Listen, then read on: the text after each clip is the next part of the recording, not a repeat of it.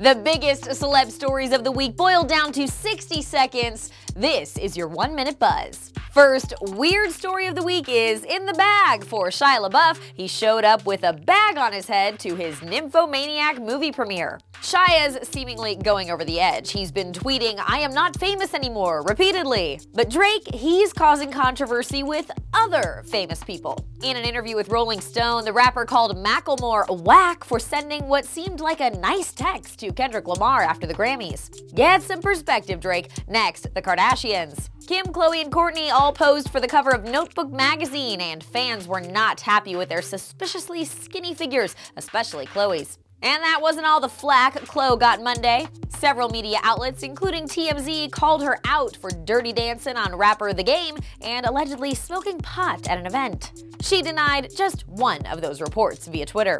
Maybe it's love. If it is, plenty of romantic movies for them at the box office this Valentine's Day weekend, including Endless Love, Winter's Tale, and About Last Night. Or if you're single this year, there's always Robocop. Just saying. Thanks for watching. For Spin Media, I'm Lauren Zima.